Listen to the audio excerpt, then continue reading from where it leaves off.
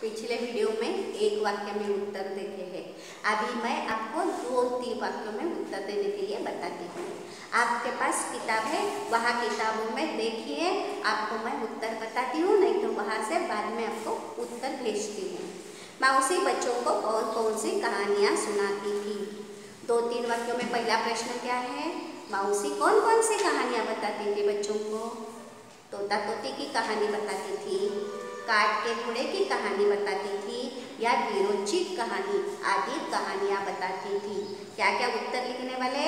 तोता तोती की कहानी, काट के घोड़े की कहानी और वीरोचित कहानियाँ बताती थी। पूर्ति वाक्य में उत्तर लिखने वाले यस प्रश्न क्रमांक दो, बच्चे मौसी को कहाँ कहाँ ढूंढते हैं? एल नोडी मौसी एक दूसरे दिला तो बच्चों कहाँ कहाँ देखा बच्चों ने मौसी को? उन्होंने दोपहर स्कूल के फाटक के पास मौसी थी। नहीं थी। दूसरा, वहाँ मौसी को नीम के पेड़ के नीचे मौसी थी, वहाँ भी नहीं थी। इस तरह उन्होंने ढूँढने का काम किया है। मकान के अंदर से मौसी बच्चों को मौसी कैसे आवाज़ सुनाई दी मकान के अंदर से बच्चों को कैसे आवाज़ सुनाई दी उसका उत्तर आपको बताऊँ। पेज क्रमांक, मेरा पुराना पुस्तक है थर्टी थ्री पेज क्रमांक है। उसके पेज क्रमांक थर्टी थ्री में सेकंड पैराग्राफ में देखो, ढूंढते ढूंढते। उसके मकान के घर से अंदर से ऊँची ऊँची आवाज़ सुनाई दी। कैसा उत्तर है? पेज क्रमांक थर्टी थ्री में उसका उत्तर आता है, ऊँची ऊँची आवाज़ सुनाई दी। बच्चों को क्यों गुस्सा आया? किस कारण बच्चों को सिर बंतु वैसे उसका ही उत्तर उसके नीचे के पैराग्राफ में है। वहाँ के पाँच बच्चे फाट पर लेटी थी मौसी के बाल नीचे हुए थे। चेहरा सूखा हुआ था इस स्थिति में बच्चों ने मौसी को देखा और बच्चों को गुस्सा आ गया प्रश्न क्रमांक चार का उत्तर है एस अभी प्रश्न क्रमांक तीन तीन चार वाक्यों में उत्तर लिखिए एस मौसी और बच्चों के बीच में क्या बातचीत हुई ಮೌಸಿ और बच्चों इसमें ಇಬ್ಬರು ಒಳಗೆ ಏನು ಮಾತಾಡಿದ್ರು ಅಥವಾ ಏನು ಮಾತಾಡಿದ್ರು ಅದರ उत्तर पेज क्रमांक थर्टी थ्री उसका उत्तर है मौसी तू इतने दिन कहाँ थी? यहाँ क्यों बैठी हो? एक ने पूछा। बाद में बेटा, तू तो बीमार थी मौसी तबीयत ठीक है? बलदेव ने पूछा। बेटा, मैं ठीक हो गई हूँ, अपने गाँव जा रही हूँ। हम तुझे कहीं नहीं जाने देंगे मौसी सबने एक स्वर से कह दिया। मौसी की आँखों में आँसू झलक उठी ये पहले का उत्तर आता है। अभी प्रश्न क्रमांक तीन का दो नंबर का प्रश्न क्या है? बच्चों ने मिलकर मौसी की सेवा किसकी इस प्रश्न क्रमांक थर्टी फोर में है। आप पाठ अच्छी तरह से पढ़ा तो सभी उत्तर आपको आने वाले हैं। आप अच्छी तरह से पाठ पढ़ने का काम कीजिए। आप आपके भाषा में उसको अर्थ समझ लीजिए और में उसका उत्तर आता है। देखिए बाज ने बच्चों ने क्या किया? पहले जब घाट उठा लेकर आए, ज़बरदस्ती को मौसी को बिठा दिया है। बिठाने के बाद उन्होंने क्या किया? कन्हैया भागकर दरी और तकिया लेकर आए, योगराज क्या लेकर आया है?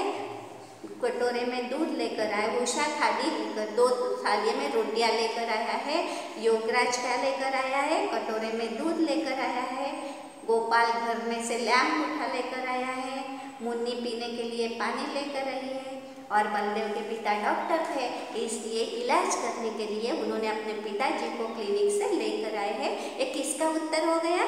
बच्चों ने मिलकर मौसी की किस तीन चार वाक्यों में उत्तर लिखने वाले हैं। एस अभी मौसी के खुशी के जीवन का वर्णन कीजिए। कैसे मौसी खुश हो गई? इसका लास्ट पैराग्राफ में उत्तर है। देखो, मौसी फिर से स्कूल के आँगन में आने लगी। बच्चे के घेरे रहते, उन्होंने कहानियाँ सुनाती थी।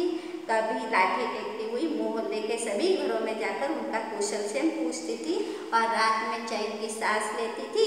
ये इसका उत्तर आता है इसके ज़रिए बच्चों के कारण बीतते हुए मौसी के खुशी के दिन वापस आ गए। लास्ट का पैराग्राफ जो है, वो थर्ड नंबर का उत्तर आता है। यस क्वेश्चन आंसर हो गए। अति भी प्रश्न क्रमांक चार जो है, रिश्ता जानिए और लिखे। रिश्ता रिलेशन रिश्ता शब्द का अर्थ है रिलेशन नाते संबंध है। पिता के पिता को क्या कहते हैं? दादा कहते हैं। माता के पिता को क्या कहते हैं? नाना कहते हैं। माता के पिता को क्या कहते हैं? नाना कहते हैं। पिता की बहन कौन होती है? बुआ होती है। और माता की बहन कौन होती है? मौसी होती है। पति पत्नी के पिता ससुर कहते हैं। पति पत्नी की माता कौन कहते हैं? सास कहते हैं। पति और पत्नी की माता को क्या कहते हैं? सास कहते हैं। बेटे की पत्नी क्या कहते हैं? बहू कहते हैं। और बेटी के पति को क्या कहते हैं? दामाद कहते हैं। आया वहाँ कन्नड़ में हिंदी में क्या कहते हैं? बेटे के पति को कहते हैं दामाद कहते हैं। अभी अभी नगुना के अनुसार बताने के लिए कहा है यहाँ कहानी है इस कहानी को बहुवचन में कहा होता है कहानियाँ होती है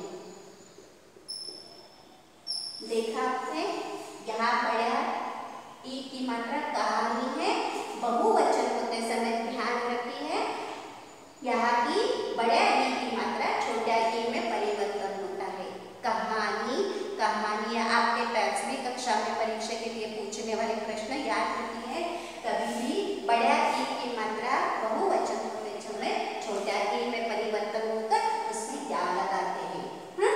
दूसरा है लड़की क्या है लड़की शब्द है इसका बहुवचन क्या होता है लड़कियाँ होता है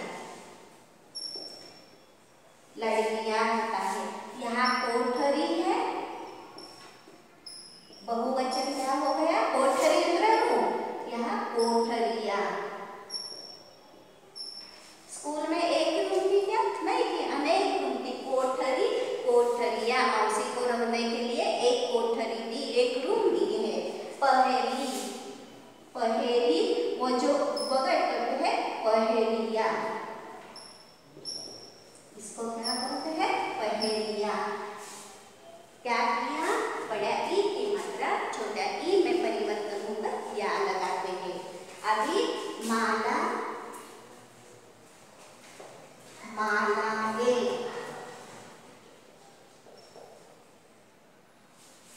माला को ए लगाते माला ए वैसे माता माता ए बाद में दिशा दिशा ए। और कौन सा है? घटना घटना घटना ए। क्या किया है? बहुवचन करते समय एक में परिवर्तन होता है बाद में कौन सा है बात बात माता बहुवचन क्या होता है बातें ये डॉट अनुस्वार लेना महत्वपूर्ण है यहाँ अनुस्वार नहीं रहा तो उत्तर करेक्ट नहीं होता बात बातें आँख आँखें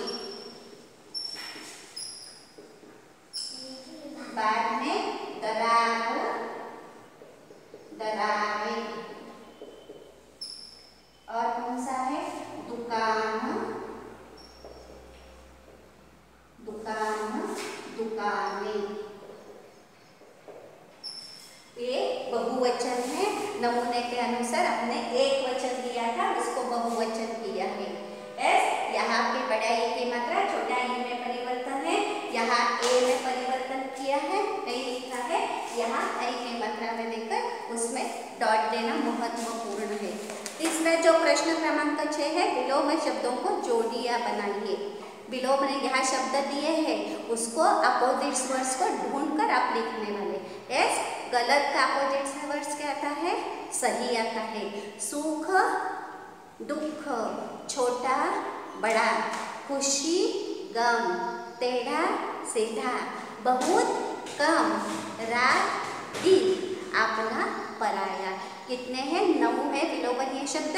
यहाँ का ढूंढकर, यहाँ ही उत्तर है। आप उसको ढूंढकर यहाँ लिखने वाले। बाद में प्रश्न क्रमांक सात क्या है? पर्यायवाची शब्द लिखिए। पर्यायवाची अर्थ, समानार्थी शब्द। एक ही अर्थ रहने वाले, अर्थ में बदल नहीं होने वाले शब्द को क्या कहते हैं? समानार्थी शब्द कहते हैं। अभी पहला शब्द कौन सा दिया है? पेड़ शब्द दिया है। इसका समानार्थी शब्द क्या आता है? वृक्ष तरु आता है समानार्थी शब्द वृक्ष तरु दूसरा शब्द है घोड़ा। घोड़ा को क्या कहते हैं? अश्व। या तुरंग चेतक कहते हैं। तीसरा शब्द है दूध। दूध, शीर, केवल दुग्ध पदार्थ रहते हैं शीत कहते हैं। चौथा पानी। पानी को क्या कहते हैं? जल, नीर कहते हैं। पांचवा शब्द है घर। गृह, मकान, सदन, आलय, कोई भी आप लिख सकते हैं। छठवा शब्द है, औरत। औरत को क्या कहते हैं? स्त्री कहते हैं, महिला कहते हैं, नारी कहते हैं, कोई भी आप लिख सकते हैं दोनों को लिखने वाले। यस इस वीडियो में हमें वहाँ तक क्या देखा है? प्रश्न क्रमांक सात तक देखा है। अभी इसमें ग्रामर भाग है, इसको आप क्या करने वाले? घर में लिखकर और एक बार प्रैक्टिस करने वाले और बताने वाले। धन्यवाद।